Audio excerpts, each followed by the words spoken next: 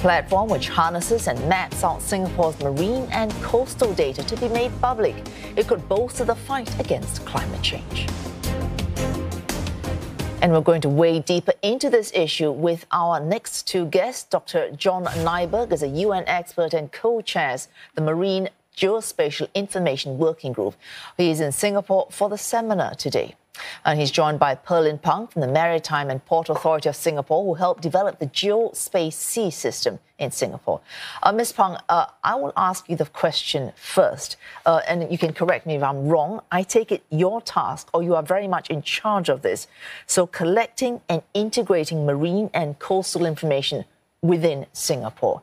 Uh, that, to me, seems to be riddled with challenges. Yes, indeed. There were actually two main challenges when we started out um, to develop Geospace First was how can we effectively manage the mass of information, hydrographic, marine, and coastal data that were collected on our dynamic sea space over the decades?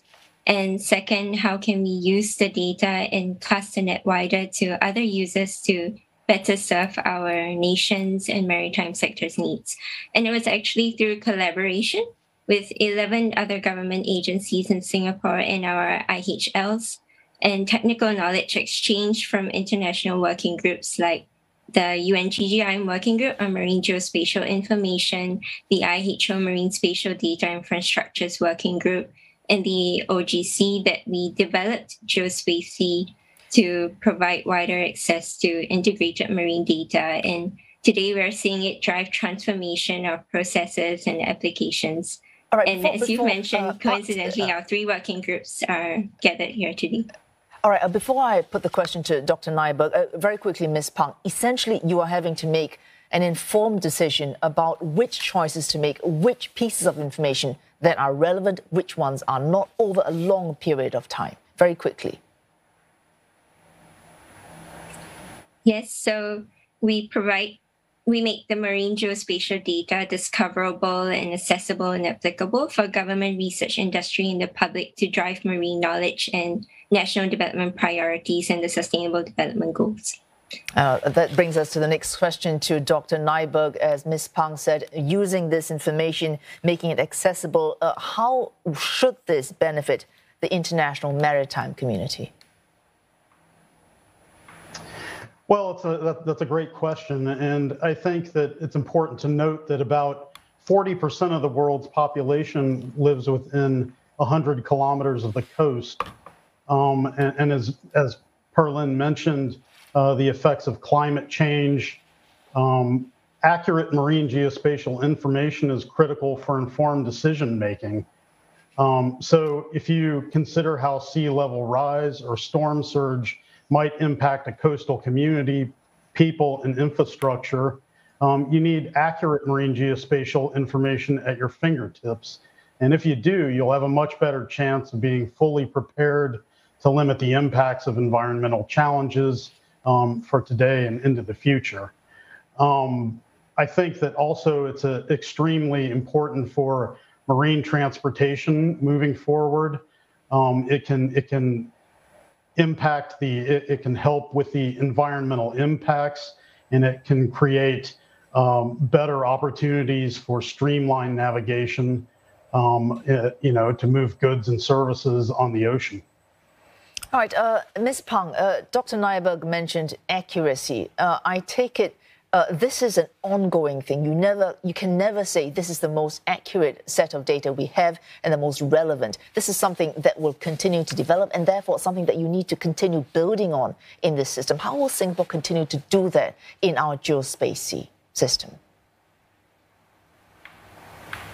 Yes, as, as John mentioned, um, priorities like climate change, sea level rise, and sustainable development is important for Singapore as well. So Geospace is presently accessible to our participating government agencies users to support evidence-based decision making.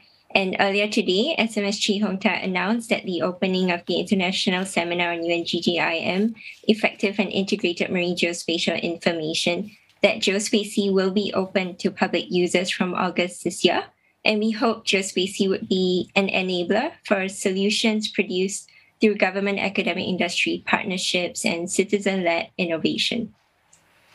Oh, Dr. Nyberg, a final question for you. Uh, given the amount of information and the depth of it, coastal information, maritime information, you are actually sharing uh, fairly sensitive information, sensitive to each country.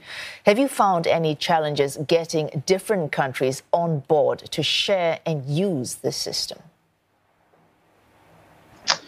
Yeah, I, I, it, it is. It can be challenging according to uh, law in, in, in each country, but um, I think that cross-border cooperation is absolutely critical. You know, as, as we as we mentioned earlier, waterborne commerce is international. Fish do not respect national boundaries, and your neighbor's marine debris might end up on your beach. So, you know, coordinating marine geospatial information is a critical critical part of predicting, preventing, and addressing these challenges. Um, we're using our global institutions, uh, as Pearlyn mentioned, like the United Nations Committee of Experts on Global Geospatial Information Management and the International Hydrographic Organization. Um, you know, and they're working with the Maritime and Port Authority of Singapore to facilitate this work. And um, a meeting like this uh, the seminar this week is, is a critical part of getting countries to work together um, so we have the data to best meet the challenges of our future.